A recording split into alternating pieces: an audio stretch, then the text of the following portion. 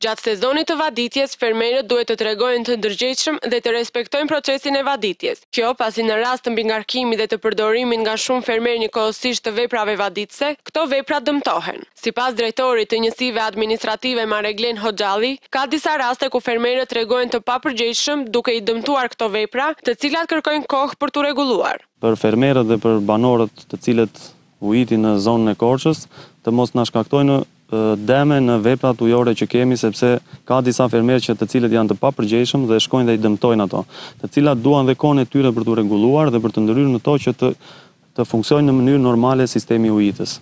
Megjithëse është një periudhë e vështirë dhe është një kulmi i periudhës të ujitjes, i lutem edhe një herë fermerëve të të respektojnë radhën dhe të mbajnë radhën sipas vendeve ku janë, sipas të ndjekin procedurat e ujitjes. Gjithashtu Hoxhalli bën me dije se tashmë është sezoni kulmor i procesit të vaditjes dhe sipas tij situata paraqitet normale. Është një situatë disi normale me problematikat e saj dhe për vetë faktin që është një zonë mjaft e madhe. Rezervat ujore që kemi me rezervuarin e Gjançit Dhe me të dy krahët e krahun e majtë dhe krahun e djathtë kemi deri në këto momente i kemi përballuar dhe nuk kemi pasur probleme. Planifikojmë që me këtë sasi ujë që kemi në rezervuar dhe me të treja pritat dhe me pritën e Shamollit dhe me me kanalin e Ventrokut planifikojmë që të plotësojmë kërkesat e fermerëve për ujë gjatë këtij sezoni.